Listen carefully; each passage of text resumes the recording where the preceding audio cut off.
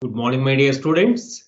Welcome to the discussion on problems on kinetics. Under this, we are solving problems on work energy method. Now we are going to solve first problem under work energy method. The given problem is a block of wood of weight 1000 newtons is placed on a inclined plane as shown in figure. Find the work done in pulling the block up for a length of 5 meters if coefficient of friction is 0.3. Here, this is the wooden block is placed on incline. Incline inclination with the horizontal is 30 degrees.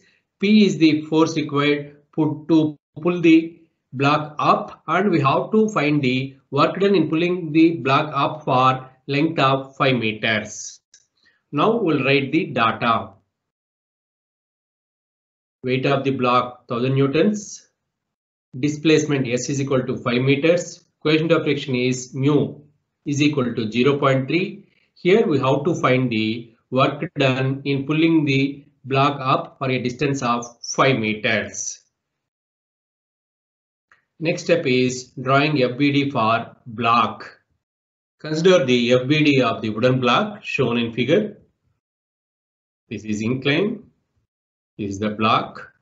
Weight of the block acts vertically down and P force required to pull the block or normal reaction and resolving the weight force along the plane as well as normal to the incline.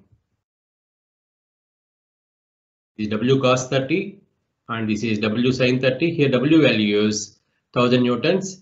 As the block tends to move up, frictional force acts downward direction along the incline. Then force is normal to plane is equal to 0. Then R is equal to W cos 30 which is equal to 1000 into 0 0.866 which is equal to 866 Newton. Frictional force F is equal to mu into R. Mu value is given in the problem that is 0.3 and R value is 866 which is equal to 259.80 Newton. Force required to pull the block is P. Then consider the summation of forces along the plane is equal to 0.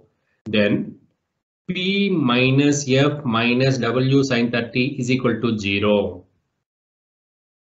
Then P is equal to F plus W sine 30 which is equal to 759.8 newtons. Then work done is equal to force into distance. Force value is 759.8 newtons and distance is 5 meters. Therefore, work done W is equal to P into S, which is equal to 759.8 into 5, which is equal to 3799 Newton meters.